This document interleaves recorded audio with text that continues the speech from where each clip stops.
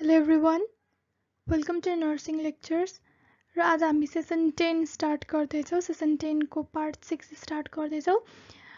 म्याटरनल and newborn ओभरभ्यूको अन्तर्गतमा previous भिडियोमा हामीले first stage of labour complete गऱ्यो होइन?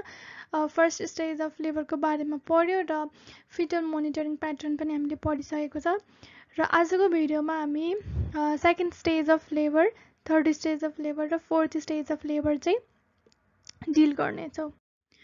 र हामीले अब सेकेन्ड स्टेज अफ लेबर हामीले डेलिभरी अफ बेबी भनेर हामीले पढिसक्यो होइन। So second stage of labour भनेको हामी delivery of baby third stage of labour भनेको डेलिभरी अफ प्लासेन्टा र फोर्थ स्टेज अफ लेबर भनेको रिकभरी भनेर हामीले पढिसकेको छैन। So first stage of labour चाहिँ हाम्रो लेबर भनेर हामीले पढिसकेको छ र आज हामी सेकेन्ड थर्ड र फोर्थ स्टेज अफ लेबर पढ्नेछौँ।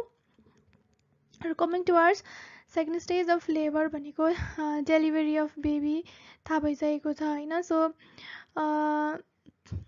यसमा चाहिँ हामीले के गर्नुपर्छ भनेदेखि सेकेन्ड स्टेज अफ लेबर भनेको जहिले पनि हामीले अर्डर फलो गर्नुपर्ने हुन्छ होइन?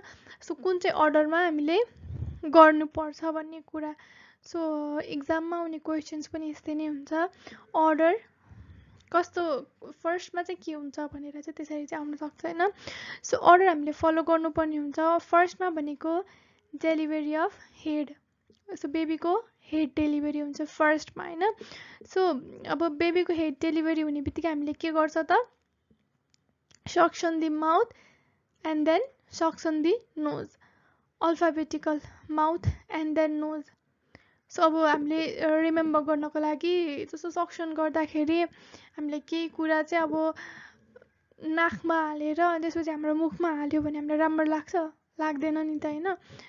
घिन लाग्छ अभियसली होइन? सो फर्स्टमा चाहिँ माउथमा गरेर बल्ल नोजमा गर्दाखेरि चाहिँ हामीलाई पनि पर्सनली ठिक लाग्छ नि त होइन? सो त्यसरी नै हामीले चाहिँ सक्सन गर्नुपर्दा जहिले पनि के याद राख्नुपर्छ भन्दाखेरि अल्फाबेटिकल्ली पनि हामीले याद राख्न सक्छ। फर्स्टमा एमबाट माउथ अनि त्यसपछि बल्ल एन आउँछ नि त एमपछि एन होइन? नोज। सो फर्स्टमा हामीले सक्सन गर्दा जहिले पनि माउथ एन्ड देन नोज गर्नुपर्ने हुन्छ त्यो कुरा चाहिँ याद राख्ने। र यो कुरा चाहिँ इन्ग्लेक्समा मात्रै नभएर हाम्रो यो जुन लाइसेन्स प्रिपरेसन होइन? अनि त्यसपछि भनेको अब लोकसेवाकोमा सो त्यस्तोमा हाम्रो आइरहेको हुन्छ यो क्वेसन चाहिँ होइन? फर्स्टमा सक्सन चाहिँ हामीले कहाँ गर्छौँ? माउथमा गर्छौँ कि नोजमा? नोज माउथ टु नोज गर्छौँ कि नोज टु माउथ गर्छौँ? सो त्यो क्वेसन्सहरू चाहिँ हाम्रो फ्रिक्वेन्टली आइरहेको हुन्छ। सो यो कुरा चाहिँ ध्यानमा राख्नु पऱ्यो suction the mouth and then nose है? त्यसपछि भनेको चेक फर न्युकल कर्ड भनेको न्युकल भनेको चाहिँ अराउन्ड दि निक है? सो घाँटीमा चाहिँ जुन नाइटो छ नि बच्चाको नाइटो बेरिएको छ कि छैन भनेर हेर्ने। होइन सो बेरिएको छ भने हामीले निकाल्नु पऱ्यो बेरिएको छैन भने ठिक छ होइन? So check for nuchal cord त्यसपछि भनेको delivery of the body so बेबीको डेलि बेबीको बडी चाहिँ डेलिभर गर्ने है। त्यसपछि बेबीको बडी डेलिभर भइसकेपछि बेबीको हाम्रो आइडेन्टिटी ब्यान्ड चाहिँ हुनुपर्छ। Baby must have an identity band on before it leaves the delivery area so delivery area delivery जुन रुम छ होइन त्यो रुमबाट निस्किनुभन्दा अगाडि चाहिँ हामीले फोर्थ स्टेज रुममा लान सकिन्छ होइन। सो त्यो त्यो फोर्थ स्टेज रुममा लानुभन्दा अगाडि हामीले के गर्नुपर्ने हुन्छ बेबीलाई आइडेन्टिटी ब्यान्ड चाहिँ हामीले प्रोभाइड गरेको हुनुपर्छ होइन? बेबी साटिन सक्छ अनि त्यसपछि भनेको अब प्यारेन्ट्सहरूलाई चाहिँ मेरो बेबी साट्यो के भन्ने हुन्छ त्यही भएर हामीले उनीहरूको अगाडि नै आइडेन्टिटी ब्यान्ड चाहिँ लगाइसकेको हुनुपर्छ होइन? सो यो कुरा याद राख्ने सेकेन्ड स्टेज अफ लेबरमा चाहिँ अर्डर फलो गर्नुपर्ने हुन्छ। फर्स्टमा डेलिभरी अफ दि हेड त्यसपछि सक्सन गर्ने सक्सन गर्दा पनि सुरुमा माउथ एन्ड देन नोज त्यसपछि भनेको चेक फर न्युकल कर्ड हे cord around the neck check गर्नुपर्ने हुन्छ। त्यसपछि भनेको डेलिभरी अफ दि बडी बेबीको बडी डेलिभर गर्ने र बेबीको आइडेन्टिटी प्यान्ट चाहिँ हुनुपर्छ भन्ने कुरा यो अर्डर चाहिँ हामीलाई थाहा हुनुपर्छ। यो चाहिँ मार्के अडियोको अनुसार हो यो सबै नोट्सहरू चाहिँ। र अर्को छ थर्ड स्टेज अफ लेबर भनेको डेलिभरी अफ प्लासेन्टा हामीले भनिसकेको छ होइन? सो डेलिभरी अफ प्लासेन्टा हुँदाखेरि चाहिँ make sure it's all there so सबै कुरा चाहिँ भएको हुनुपर्छ होइन? अमेलिकल कर्डदेखि लिएर प्लासेन्टा प्लासेन्टामा पनि हाम्रो एमनियन कोरियनहरू चेक गर्ने अनि त्यसपछि भनेको कोटिलेडन्सहरू सबै छ कि छैन होइन? सो कुनै पनि लेफ्ट भएको छ कि कोटिलेडन्सहरू त्यो चेक गर्नुपर्ने हुन्छ प्लासेन्टाको अनि मेम्ब्रेन्सहरू कम्प्लिट छ कि छैन होइन? सो ऱ्याग मेम्ब्रेन्स यदि छ भनेदेखि मेम्ब्रेन युटरसभित्रै बसेको छ भने त्यसले गर्दाखेरि पोस्टपार्टम हेमोरेज हुने चान्सेसहरू बेसी हुन्छ। त्यही भएर त्यो कुराहरू चाहिँ हामीले याद राख्नुपर्ने हुन्छ होइन? सो मेम्ब्रेन कम्प्लिट छ कि छैन कोटिलेडन्सहरू कम्प्लिट छ कि छैन अनि त्यसपछि भनेको अर्को मेन कुरा याद राख्नुपर्ने भनेको कड हामीले हेर्नुपर्ने हुन्छ।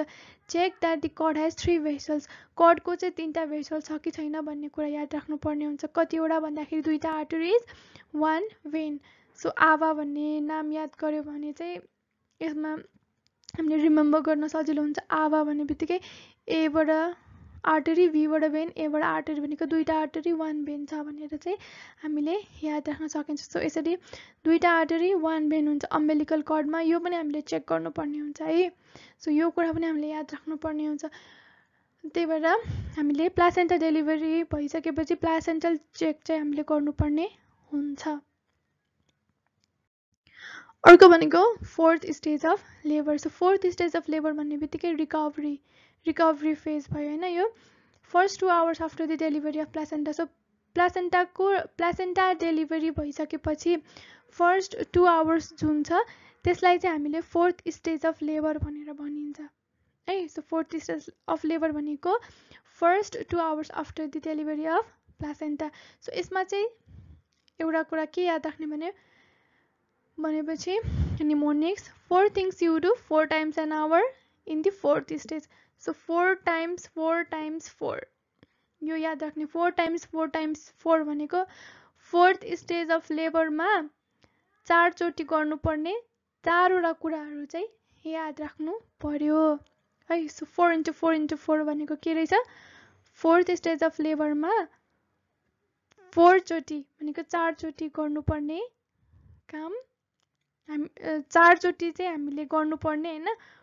चार चारचोटि घन् चार चार घन्टामा हामीले गर्नुपर्ने फोर्थ स्टेज अफ लेबरमा हामीले फो फोर टाइम्स हामीले हेर्नुपर्ने अनि त्यसपछि भनेको के हेर्नुपर्ने? Four things you do what do you do होइन यो कुरा चाहिँ हामीले याद राख्नुपर्ने हुन्छ।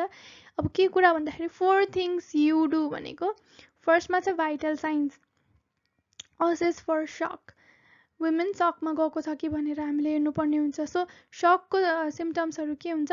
Pressure goes down rates goes up भनेको हाइपोटेन्सन हुने भयो र ट्याकिकार्डिया हुने भयो पेल कोल्ड क्ल्यामी स्किनहरू हुने भयो होइन सो यो चाहिँ सकको सिम्टम्सहरू भयो। सो भाइटल साइन्स एउटा हेर्नु पर्यो नेक्स्ट भनेको फन्डस चेक दि फन्डस हामीले फन्डस हेर्नु पर्यो सो फन्डस चेक गर्दाखेरि फन्डस यदि बगी छ भनेदेखि होइन? सो हामीले फन्डस फन्डस कस्तो हुनुपर्छ? कन्ट्र्याक्ट भइरहेको हुनुपर्छ नि त होइन? फोर्थ स्टेज अफ लेबरमा पनि जुन भित्रको कन्टेन्ट्सहरू एक्सपेल हुनको लागि ब्लिडिङ स्टप हुनको लागि फन्डस कन्ट्र्याक्ट भइरहेको हुनुपर्छ। तर यदि फन्डस फन्डस चाहिँ बगी छ भनेदेखि होइन नरम छ भनेदेखि के गर्नु पऱ्यो हामीले मसाज गर्नु पऱ्यो होइन? सो मसाज गर्ने हार्ड नहुनुन्जेलसम्म अनि त्यसपछि अर्को भनेको यदि डिस्प्लेस छ भनेदेखि फन्डस चाहिँ डिस्प्लेस छ भनेको जुन सिधा मिड लाइनमा हुनुपर्ने मिड लाइनमा छैन अर्को साइडतिर छ भनेदेखि त्यो भनेको चाहिँ हाम्रो युरिन चाहिँ धेरै छ होइन? भनेको हाम्रो युरिनरी ब्ल्याडरमा चाहिँ युरिन एकुमुलेट भएर बसेको छ। निस्केको छैन भनेदेखि त्यसले चाहिँ के गर्छ भन्दाखेरि हाम्रो फन्डस चाहिँ डिस्प्लेस भएको हुन्छ होइन। सो हामीले के गर्नु पऱ्यो क्याथेटराइज गरेर युरिन आउट गर्नुपर्ने हुन्छ होइन। सो यो कुरा चाहिँ हामीले याद राख्नुपर्ने हुन्छ। फन्डस चेक गर्ने बगी छ भनेदेखि मसाज गर्ने डिस्प्लेस यदि छ भनेदेखि हामीले क्याथेटराइज गर्नु पऱ्यो यो कुरा याद राख्नु पऱ्यो होइन। सेकेन्ड थिङ थर्ड थिङ भनेको प्याड हेर्ने how much she is bleeding होइन सो प्याड हेर्ने if she is bleeding excessively excessively bleed गरिरहेको छ भनेदेखि saturate pad in fifteen minutes or less पन्ध्र मिनटमा या पन्ध्र मिनटभन्दा कम्तीमा चाहिँ प्याड चाहिँ फुल्ली सोक्ड भइसकेको हुन्छ होइन? सेचुरेट प्याड भइसकेको हुन्छ सो फुल्ली सोक्ड भइरहेको हुन्छ। That's why you check every fifteen minutes every fifteen मिनट्समा चाहिँ हामीले प्याड चाहिँ चेक गरिराख्नु पर्ने हुन्छ होइन? सो यो कुरा चाहिँ हामीले याद राख्नुपर्ने हुन्छ है? अर्को भनेको क्वेसन अर्को एउटा क्वेसन के छ भन्दाखेरि it's ninety eight percent saturation it's in trouble or not so ninety eight percent saturated भनेको चाहिँ she is not in trouble because hundred percent नै सेचुरेट भएको हुनुपर्छ फिफ्टिन मिनट्सभित्रमा है? सो फुल्ली सोक छैन भनेदेखि चाहिँ हामीले वुमेन चाहिँ ट्रबलमा छैन भन्ने चाहिँ हामीले याद राख्नुपर्ने हुन्छ। फुल्ली सेचुरेटेड हुनुपर्छ in fifteen minutes or less than fifteen मिनट्समा होइन?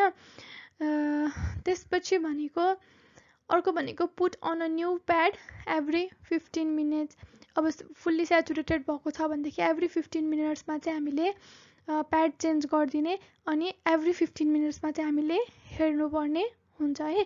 सो प्याड चाहिँ हामीले के गर्नुपर्ने हुन्छ? एभ्री फिफ्टिन मिनट्समा चाहिँ हेरेर इभ्यालुएट गर्नुपर्ने हुन्छ। एक्सेसिभ ब्लिडिङ छ भनेदेखि वुमेन पोस्टपार्टम हेमोरेजमा जान सक्छ भनेर हामीले यो कुरा चाहिँ याद राख्नुपर्ने हुन्छ है। थर्ड थिङ प्याड भयो। फोर्थ थिङ भनेको रोल हर ओभर सो उसलाई प्यास वुमेनलाई चाहिँ के गर्नु पऱ्यो? रोल गरेर हेर्ने। होइन check for bleeding underneath so जहिले पनि प्याडमा मात्रै हुन्छ भन्ने हुँदैन। प्याडमा अब पार्सियल्ली सोक्छ तर अब हामीले रोल गरेर हेर्दाखेरि पुरै ब्लिडिङ उसको चाहिँ बेडमा लागिरहेको छ भनेदेखि बेडसिटमा लागिरहेको छ भनेदेखि त्यो त के भयो राम्रो भएन नि त होइन। सो उसको एक्सेसिभ ब्लिडिङ भइरहेको रहेछ भन्ने त हामीलाई थाहा भयो नि त। सो जहिले पनि प्याडलाई मात्रै हामीले हेरेर चाहिँ इभ्यालुएट गर्नु भएन। उसलाई चाहिँ रोल गर्ने पल्टाउने पल्टाएर हेर्ने होइन। पछाडि लागेको छ कि छैन ब्लिडिङहरू पछाडि भएको छ कि छैन भनेर चाहिँ हामीले लिक भएको हुनसक्छ नि त प्याडमा जहिले पनि लाग्छ भन्ने हुँदैन। सो लिक भएको हुनसक्छ।